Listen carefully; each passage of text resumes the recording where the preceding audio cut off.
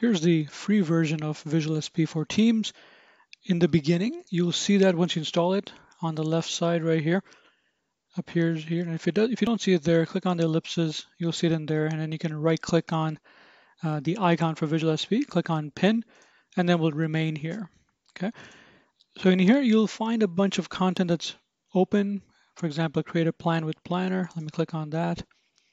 You'll see there's content right there, quick short videos, approximately two minutes or less, uh, which you can pop out as well and do work side by side. And then some additional content underneath it of how you can try that uh, particular thing that they're talking about in the video. Okay, let me click on something like this. For example, this shows a web page. So if I click on it, this also actually has a video plus more information here. And let's click on one more over here, large gallery view. Okay.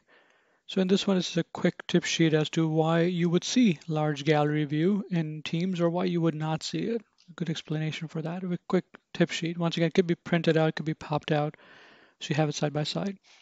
Now, in addition to the team scope and the content that's available within Teams, which will change over time because we're adding content all the time, there's also content. If you click on the drop down here, lots of additional content on everything from Excel to Word to SharePoint, you know, Delve, Power BI, lots of different things. Let me click on, for example, Word Online. Here we go, a lot of content open over here for free. Keyboard shortcuts. Okay, you can obviously do searches for all these things as well. So let me do a search for table. Here's all the information about table or tables within Word. You can also go and search all applications. I won't do that right now, but if you do that and do a search, you'll get a lot more content.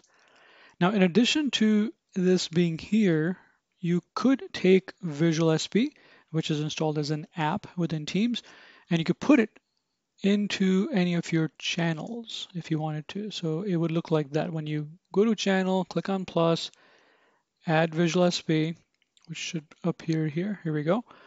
Once you do that, here's what it looks like. You'll have the same content available directly here as well. Here it is. Same thing that I was showing before in the left rail for Teams. Okay. Now, of course, you can explore other things out as well as to what they are. But let me actually move on to show you the premium version of Teams as well. So here's the premium version. The same look and feel, the same experience, but now as you can see, all the content is open because this is the premium paid version of it. Okay, all the content is open here, hundreds of pieces of content. Here it is. Uh, sorry, it's taking a little bit longer than usual over here. Here it is. And go to Guide for Team Owners. There we go, much quicker. A lot of content available in the premium version.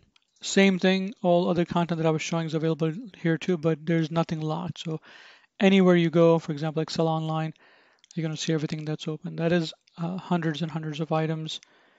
Uh, if I did all applications here, I believe it's more than 1400 or something close to that. Let's see what the current count is because we are changing it all the time. There's a lot of content being added. Current is 1477. So a lot of content available in the premium version of Teams. Enjoy. Let us know if you have any questions. Thanks for watching.